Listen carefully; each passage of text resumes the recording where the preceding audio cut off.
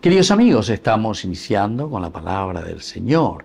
Y hoy, como siempre, viene a nuestro encuentro hoy de la profecía de Daniel, capítulo 1, del 1 al 6 y luego del 8 al 20. El tercer año del reinado de Joaquín, rey de Judá, llegó a Jerusalén Nabucodonosor, rey de Babilonia, y la sitió. El Señor entregó en sus manos a Joaquín, rey de Judá, y una parte de los objetos de la casa de Dios. Bueno, y así comienza esta historia muy interesante.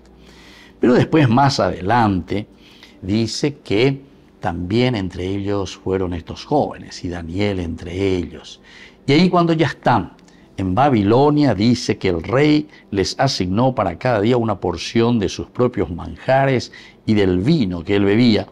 Ellos debían ser educados durante tres años y al cabo de esos años se pondrían al servicio del rey. Entre ellos se encontraba Daniel, Ananías y Azarías, que eran judíos. Daniel estaba decidido a no contaminarse con los manjares del rey y con el vino que él bebía. Bueno, y así sigue esta historia. Y él les dice, no, pero ya la no contaminarse, decía justamente. Queridos amigos, esto nos está diciendo verdaderamente, y después en esta historia, que Daniel es el que dice se mantenía mucho más robusto, mucho más fuerte, con la fuerza y la gracia de Dios.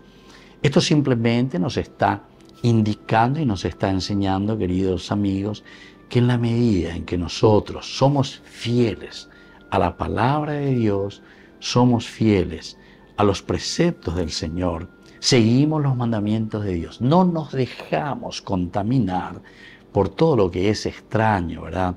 A los mandamientos de Dios, evidentemente que vamos a sobrevivir por una parte, pero no hay ¿verdad? sobrevivencia ante sino que sobre todo vamos a ser mucho más fuertes en el seguimiento y en la construcción del reino de Dios.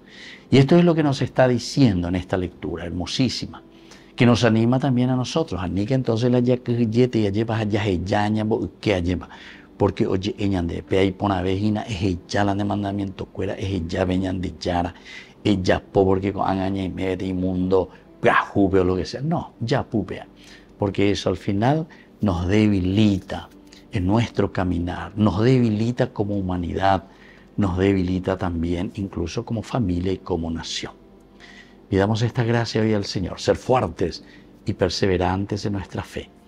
Que la bendición de Dios descienda sobre ustedes, el Padre y el Hijo y el Espíritu Santo. Amén.